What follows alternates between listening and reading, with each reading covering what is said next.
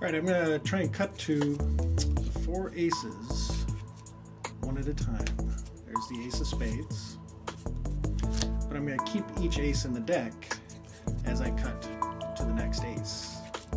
There's the ace of hearts, so I've got the ace of hearts and the ace of spades. I gotta get the next ace.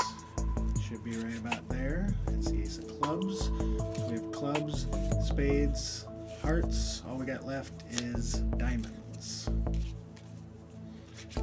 Right there, the diamond. So it's diamonds, hearts, spades, and clubs.